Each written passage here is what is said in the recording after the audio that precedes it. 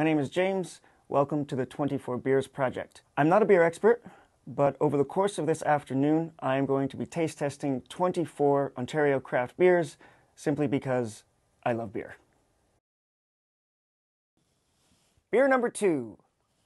Uh, this comes from Amsterdam Brewery. Um, I like Amsterdam Brewery. I drink a number of their beers.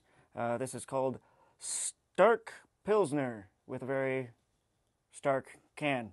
Uh, it's blue.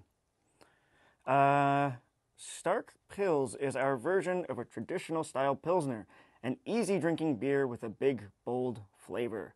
Expect crisp and refreshing uh, with a delicate hop flavor. Malt, they didn't tell us. There's malt in it of some sort. Uh, hops, oh boy.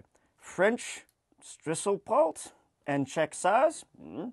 Uh, yeast, again, they didn't tell us. Very secretive. Uh, the ABV is 5.2%, and the IBU is also non specified. Um,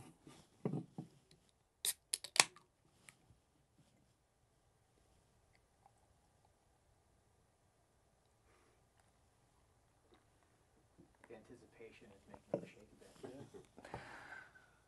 Uh, very similar color to beer number one. Uh, nice head on it. Um,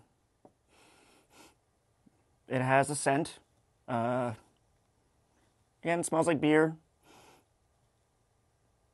I don't really smell any of the hops, but they say it's delicate hop, so maybe you're not supposed to. Yeah, well, it is a Pils. It's not. Yeah. Yeah. Yeah, it's supposed to be light and easy. Let's see.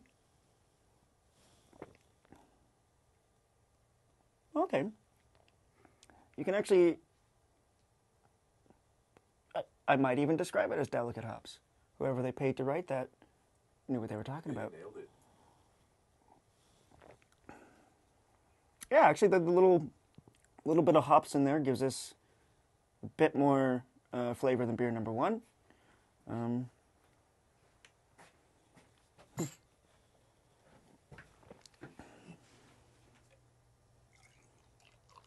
this is Glen. Hi, Glen. Remember to James. smell it first.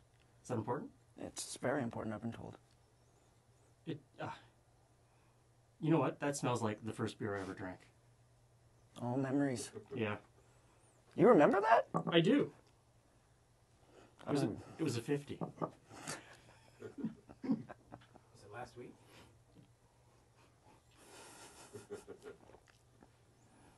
Yeah, that's a patio beer. Yep, Definitely a patio beer. for sure. You could drink more than you need to.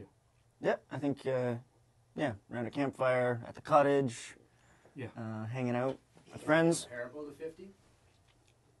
No, it's it's got more flavor. Yeah. I think I, I really think that little bit addition of hops just gives it a tiny. Well, it's it's got an IBU of forty. So there's Well- there's just a little bit of hop there, in the other flavors. But it's not overpowering.